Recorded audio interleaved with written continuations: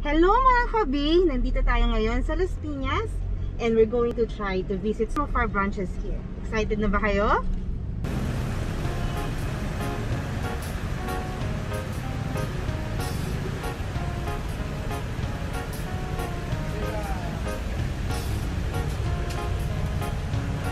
Nandito tayo ngayon sa BF Resort Branch which is their very first branch ever And we're gonna try out their baluan and waffles and panada. Very fresh and very authentic.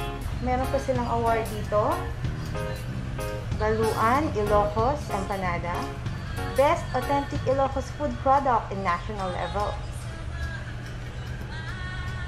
Tutorial sila Yan, ngayon. may sapan-sapan niya. Oh, yan. Okay na yan. Thank you. Nakikigulo kami ngayon dito. Ito Sa is pictorial ng special. Empanada.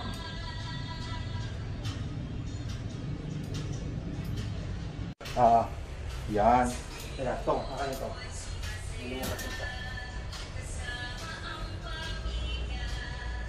Game.